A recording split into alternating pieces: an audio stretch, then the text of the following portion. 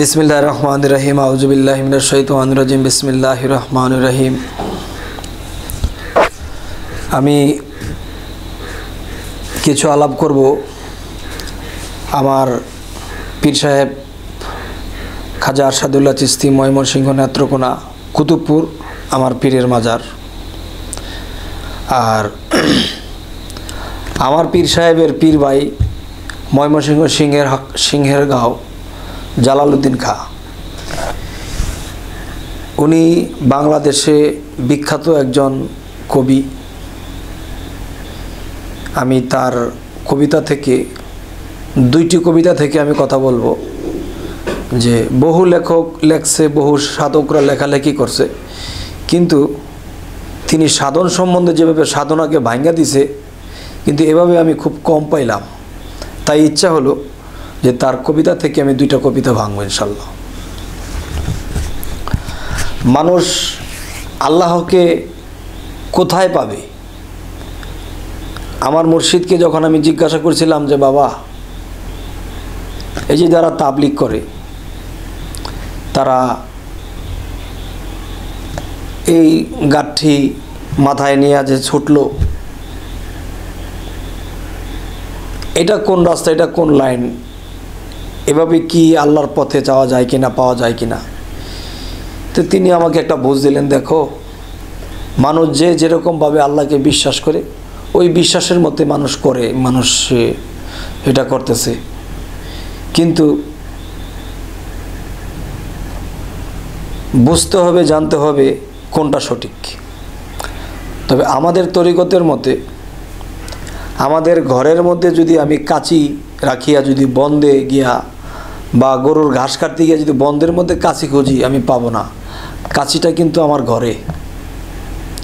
তাহলে ঘরে আমার কাচির খুঁজে নিতে হবে। তাহলে আল্লাহ বলতেছে যে, আমার নিঃশ্বাসের সাথে আল্লাহ স্বয়ং নিজে যাওয়া আসা করতেছে রুহের মাধ্যমে। যদি এই রুহের মাধ্যমে আল্লাহ না থাকতো তাহলে আমি আপনি কখনোই বেঁচে থাকতে পারতাম না। আঠারো হাজার মাকলিকত বেঁচে থাকতে পারতো না।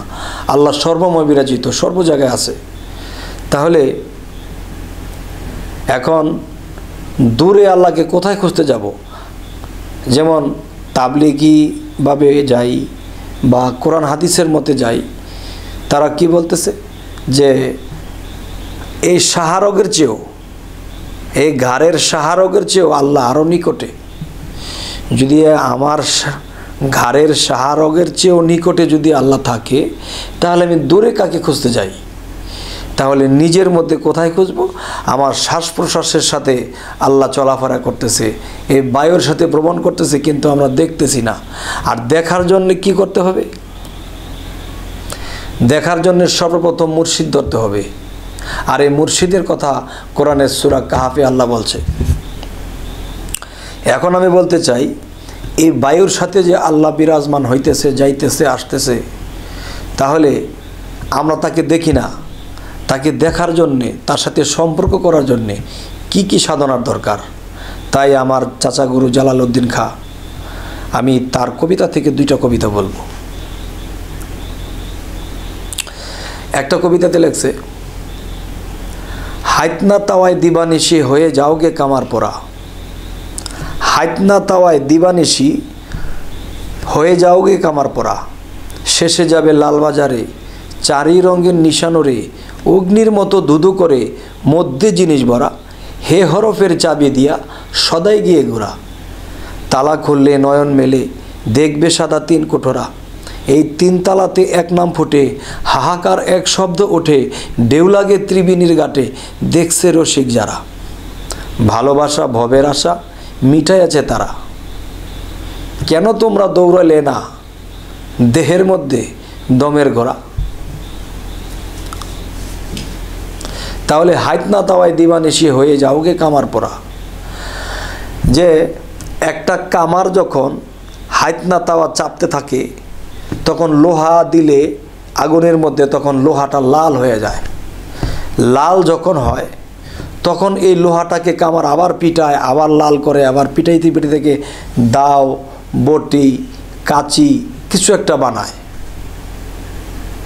তাহলে মানুষ এই পৃথিবীতে যদি অলিয়া উলিয়া বা আল্লাহর বন্ধুর রূপ ধারণ করতে চায়, আল্লাহর বন্ধু হিসাবে হইতে চায়, তাহলে নিজেকে পোড়া দিতে হবে এই দম আগুনে এই দম আগুনে যারা পোড়া দিল তখন কি হবে?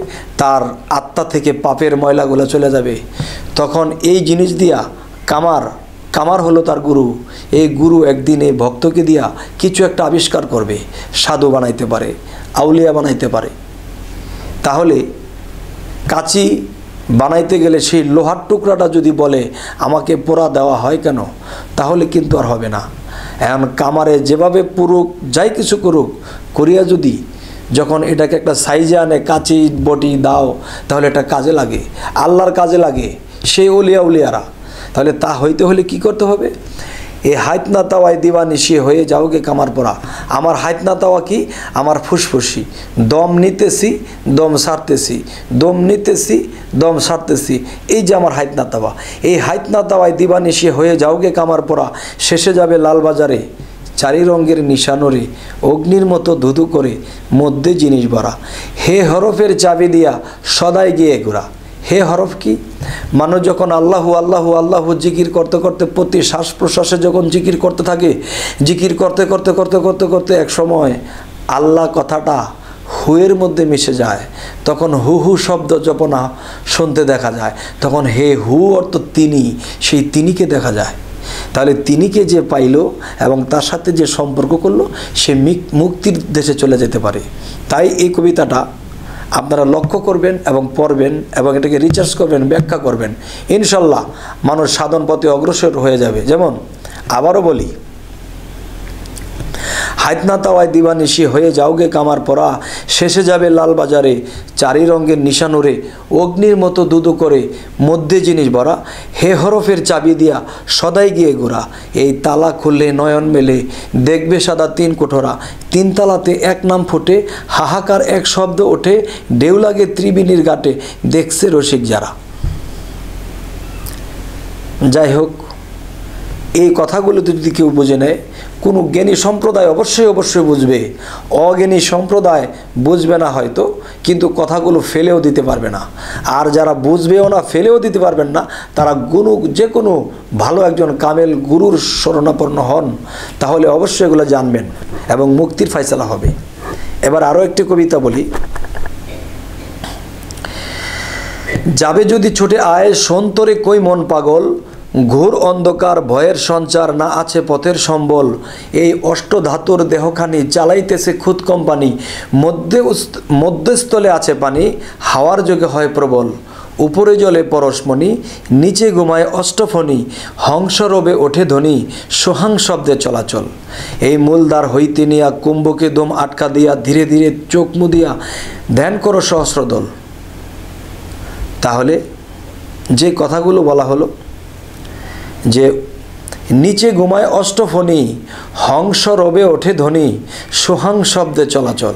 এই যে কথাটা, নিচে ঘুমায় অষ্টফণি, মানুষের যে যেখানে নাফসের স্থানটা, যখন মানুষে দমের সাধনা করে, বিভিন্ন সাধনায় যখন থাকে, তখন মানুষের নফসের স্থানটা, তখন সে সাপের মতো ফানা ধরতে থাকে।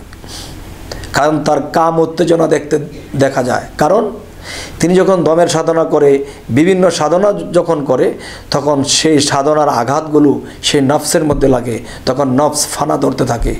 আর এই ফানা ধরার থেকে যদি সে নিজেকে ঠিক রেখে সে যদি সাধন চালায় যায়, একদিন সাপ ফানা রেখে সে আহত হয়ে থাকবে। তখন তার মধ্য থেকে সে পরমাত্মা জাগ্রত হবে। তাই বলা হয়েছে নিচে ঘুমায় অষ্টফণি হংসরবে ওঠে ধ্বনি, সোহাং শব্দে চলাচল। যে নিচে ঘুমায় অষ্টফণি, উপরে জলে পরশমণি। পরশমণি কি? যে মানুষের কালবের মধ্যে আল্লাহর একটা স্থান, মগজের মধ্যে আল্লাহর একটা স্থান। সেই পরশমণি যখন আমার দুই জায়গায় যখন আলোকিত হবে, তখন আমি আল্লাহর তরফ হইতে খবর খবর পাব। তাই বলা হয়েছে যে নিচে ঘুমায় অষ্টফনি হংসরবে ওঠে ধ্বনি সোহাং শব্দে চলাচল মূলদার হইতে নিয়া কুম্ভকে দুম আটকা দিয়া ধীরে ধীরে চোখ মুদিয়া ধ্যান করো সহস্রদল। ধ্যান করো সহস্রদল। সহস্রদলটা কোথায়? এই তো, সহস্রদল। এখানে যখন আমি যাব, তখন এই সহস্র দলে আমার পৌঁছাইতে হলে কি করতে হবে? আমার ছয়টা লতিফাকে দমের ঘরে দমাগণে পূর্ব এবং মুর্শিদ রূপ ধরব। তখন এই রূপের ঘরে আমি ডুবিয়া যাব সেই সহস্র দলে। তখনই দেখব সেখানে অষ্টফণি যে নিচে আছে, সে আহত আর আমার মধ্যে যে পরমাত্মা, সে হচ্ছে জাগ্রত। জাগ্রত হওয়ার পর তখন আমি দেখি যে পরশমণি উপরে জ্বলতে দেখা যায়। তখনই সেই মানুষের পরশমণি হিসেবে যখন গণ্য হয়, তখন তার সাথে সম্পর্ক হয়। এক সময় দেখা যায়, তিনি এই ধরাধাম থেকে চিরমুক্তি হয়, আল্লাহর সাথে বিলীন হইতে পারে। আজ অনেকেই আমার চাচা গুরু জালালউদ্দিন খা, তার এই কবিতাগুলো অনেকেই রিচার্জ করে না। রিচার্জ করে না বিদায়, তারা বুঝতে পারে না। তাই মানুষ সাধন পথে আল্লাহর পথে অগ্রসর হইতে পারে না। আজ এই আলাপগুলো এই জন্যই বলা হইল, করা হইল যাতে মানুষ এই এই জিনিসগুলো জানতে চায়, বুঝতে চায় এবং এই সাধনে এই কর্মে মানুষ লিপ্ত হয়। তখন মানুষ অগ্রসর হতে পারবে, আল্লাহর সাথে বিলীন হতে পারবে। চিরমুক্তি তাকেই বলা হয় যে আল্লাহর সাথে মিশে। যেমন সাগর থেকে আমরা পানির মতো ভাসতে ভাসতে চরে, নালা, ডোবায়, পুকুরে পানি ভরিয়া গেল। তখন যখন ভাটা লাগল, তখন নদীতে চলে গেল। নদীর পানি আবার সাগরে চলে গেল। কিন্তু আমরা তো এই পৃথিবীতে আইসা, সেই পানির মতো আটকে গেছি। এখন আমাদের উপায় কি? তখন এই সাধনা করতে করতে করতে করতে এই সাধনার গতিতে তখন এই পানি বাষ্প হইয়া সেই আকাশে মিশবে, তখন আমরা আল্লাহর সাথে বিলীন হয়ে যাব। তখন আল্লাহর সাথে যখন আমরা বিলীন হয়ে যাব, তখন আল্লাহ যেমন মানুষের উপকার করে, মানুষের ডাক শোনে, মানুষের অনেক কিছু করে, তখন একটা মানুষও তা করতে পারে। এই জন্য পৃথিবীতে মাজারে মাজারে মানুষ কেন যায়? যে আল্লাহর সাথে যারা মিশছে, তখন এই মাজারে আল্লাহর বন্ধুর উসিলা যখন আমরা করব, আমাদের একটা দিক হবে, আমার একটা ফয়সালা হবে। আজ এই সাধন তত্ত্ব বলার উদ্দেশ্য এই। যদি দয়া করে আপনারা এই জিনিসগুলো বুঝতে চান, জানতে চান, অবশ্যই একজন কামেল মুর্শিদের কাছে যেতে হবে। আজ এই পর্যন্তই রাখলাম। আল্লাহ হাফেজ।